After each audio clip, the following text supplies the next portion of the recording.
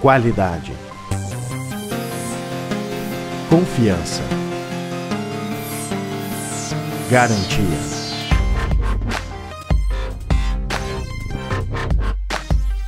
Maninho Car, o seu veículo está aqui.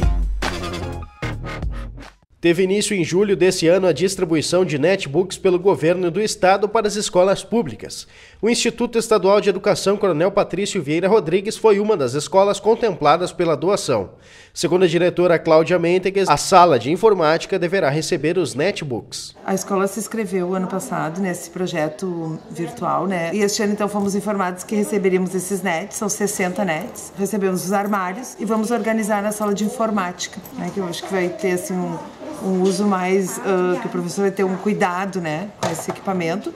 E eles são 60, então dá para duas turmas tranquilo utilizar, né? Ao todo, o estado investiu 27 milhões de reais para a aquisição dos equipamentos.